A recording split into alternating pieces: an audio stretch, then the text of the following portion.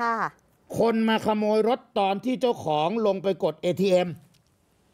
ไปไล่ดูจากที่ชนบุรีนะครับ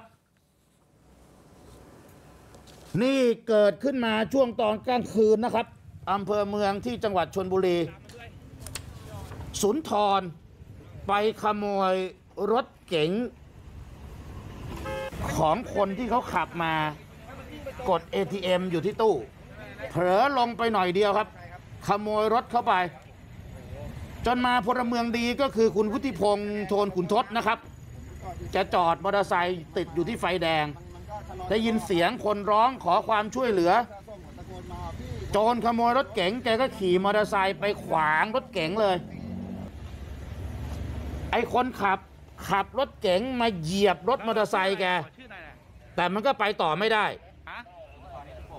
สมพรเลยนะ น้องพุทธิพงศ์พลเมืองดีพยายามเอาหมวกกันน็อกไปไล่ทุบกระจก เพื่อให้เปิดประตู ดึงตัวคนร้ายออกมา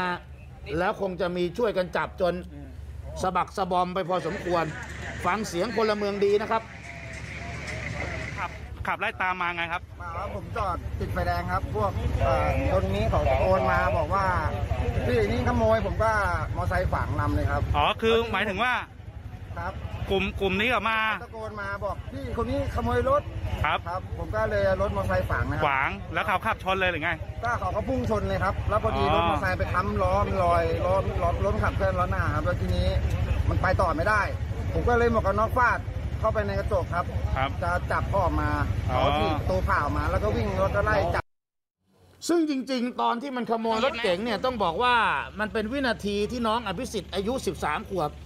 นั่งอยู่บนรถด้วยนะครับ นั่งอยู่บนรถกับคนร้ายอะค่ะ ลองนึกภาพดูแล้วน้องอายุ 13อะน้องบอกว่าน้องกลัวมาก ก็คือไม่รู้ว่ามันจะขับไปที่ไหน กลัวว่ามันจะทำร้ายเอา ตัวเองเห็นท่าไม่ดีต้องทำอะไรสักอย่างแล้วค่ะ ก็เลยหาจังหวะ เปิดประตูแล้วก็กระโดดลงจากรถ น้องอภิสิทธิ์ก็สติดีนะคะ หาจังหวะอะค่ะแล้วเขาก็ขึ้นมาแล้วเขาก็ขับออกไปเลยครับคือเรากดตังค์อยู่รถจอดอยู่ ใช่ครับแล้วอ๋อผมแล้วเขาก็ขับออกมาแล้วผมก็เปิดประตูแล้วก็กระโดดออกมาครับเพราะกลัวว่าเขาจะพาไปที่พาไปฆ่าหรือพาไปขอทานอ๋อเราเราก็อยู่บนรถด้วย ใช่ครับ พี่ผมกับแฟนพี่ผมเขาก็ลงไปกดตังค์ครับครับแล้วผมก็กระโดดหน้าผมสิงนะครับออกเขาขับออกมาหน่อยนึงคนแล้วผมก็กระโดดลงครับอ๋อเรากระโดดลงจากรถเลยเหรอใช่ครับอ๋อเพราะผมกลัวว่าเขาจะพาผมไปฆ่าหรือพาไปขอทานนะครับอ๋อจนจนมีมีพลเมืองดีขับตามมาล่ะใช่ครับแล้วผมว่าพี่ผมก็ช่วยกันตะโกนว่ามีโจรขโมยรถครับอ๋อคือพี่ชายกับแฟนพี่ชายลงไปกดตังค์ฮะทิ้งให้น้องเมื่อสักครู่นี้อยู่บนรถคนเดียวค่ะ จังหวะมันเข้ามาขโมยรถ เด็กตัดสินใจกระโดดลงมาคำถามคือว่าสุนทรคิดยังไง มาขโมยรถเก๋งเขาที่จอดกด ATM อยู่ตรงบริเวณท่าเกวียนที่บางปะสร้อยที่ชนบุรีเนี่ย สุนทรเมาหรือมันยังไงฮะ อยากจะได้รถเพื่อนเนี่ยขโมยรถเข้ามาได้ไงอะฮะจำไม่ได้ว่ามายังไงเหตุการณ์มายังไง จำไม่ได้ เสพไหมเนี่ย เสพยาไหมแล้วเราเมาเมาอะไรวะเนี่ย เมาเหล้าเมาเหล้าเดี๋ยวก่อนนะครับเดี๋ยวขอนี่ก่อนครับเอาลำดับเหตุการณ์ก่อน เมาเหล้า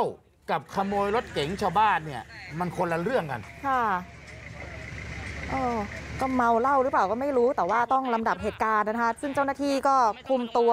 ไปสอบสวนเพิ่มเติมที่สพเมืองชนบุรี แล้วก็จะต้องดูว่ามีอาการทางประสาทหรือว่าที่ทำไปเนี่ยเจตนาหรือแกล้งทำหรือไม่อย่างไร